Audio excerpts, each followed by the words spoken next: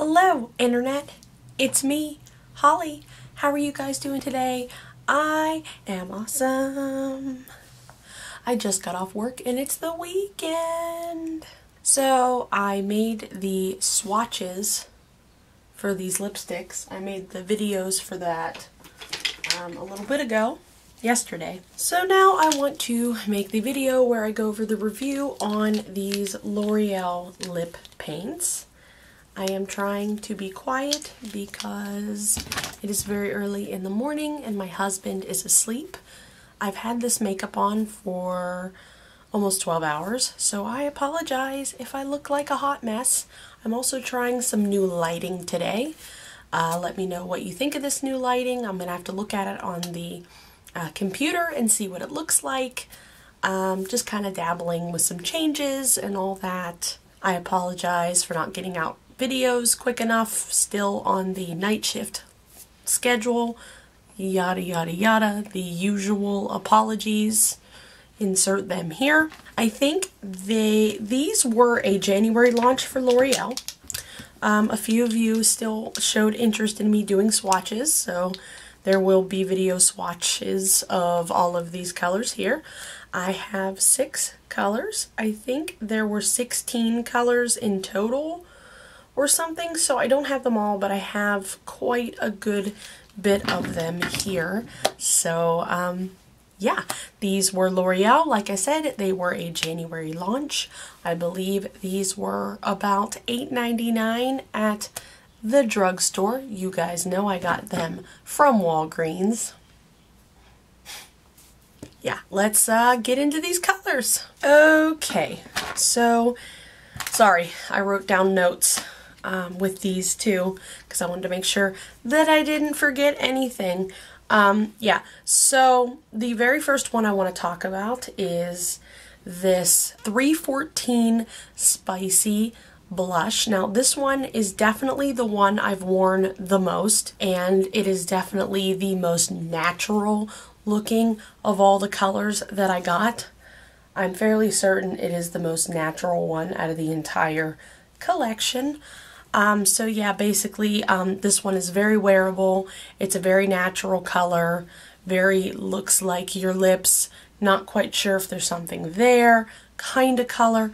I really enjoy this one. It's a pinky nudie shade, which are the nudes that I tend to go for.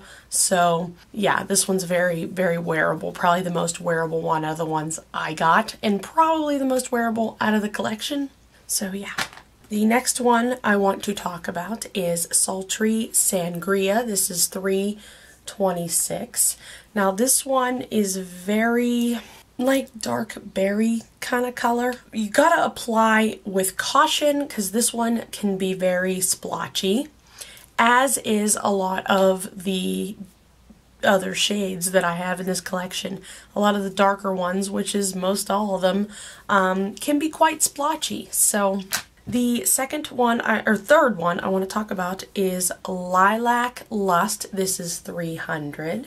This is very My Little Pony-esque. This would have gone very nice with my lavender hair back in October. So yeah, um, this one is not splotchy. This one does apply very nice, so I like that one. We also have three, oh, nope, wrong one. 302 Violet Twist.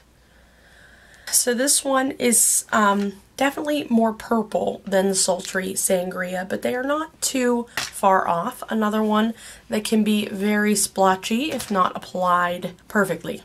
Yes, uh, another apply with caution kind of thing. And the next one is 304 Bewitching Bordeaux. I think that is called. This is very blackened purple. This is like your vampy, your goth kind of shade.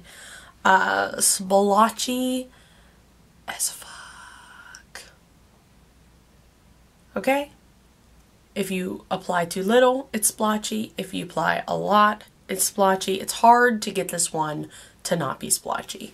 Um, I applied these without a lip liner. I think a clear lip liner maybe would have helped them not be so runny and splotchy. but that was my mistake. And the very last one that I want to talk about is 308 Navy Spy.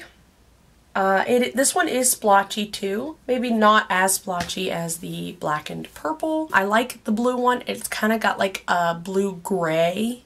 It's like a blue gray, dark blue gray.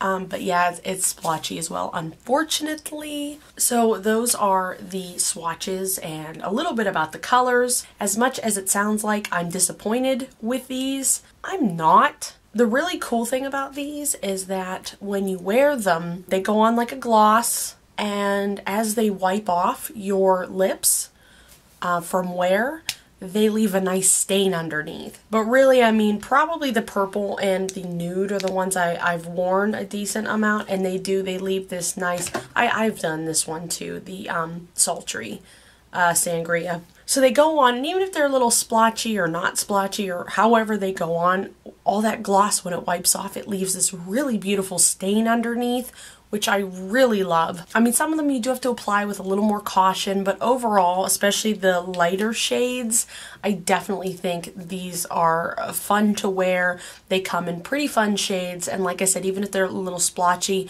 at first application, by the time that top layer wipes off, you're left with a really nice stain underneath kind of thing. I actually like these a whole bunch, so yeah. But like I said, um, this isn't even all the collection. They have like, I think 12 to 16 shades, and I only have six. So there's definitely a wide color range in this collection. I know I saw some orange shades, and they had uh, more reds, and they had some other fun shades as well. So I definitely like the color range in this collection, and like I said, you can't go wrong with a nice stain after it wears down because then it's like it's still there, you know, it's there for longer and you know, us girls that aren't sitting sitting doing nothing all day kind of need something that's going to last. So, I really liked that about it and I am loving the nude shade like nobody's business. So, and the gloss, I'm not normally a gloss girl, but like I said, it wears down. But the gloss isn't like really sticky or irritating either. They are lip paint, so they are a little heavier than a gloss, but it's not irritating to me at all. And a lot of glosses are, so that is a testament to how good it is, you know? But yeah, you guys should definitely go out and try these if you haven't already. If you have, let me know in the comments which ones you've tried, if you liked them, if you didn't like them, if you tried other shades that I didn't that you liked. Let me know in the comments. I think that's about it. Yeah. Oh, P.S. I guess I should have probably have shown you the applicators because applicators. Just like a little flock tip. So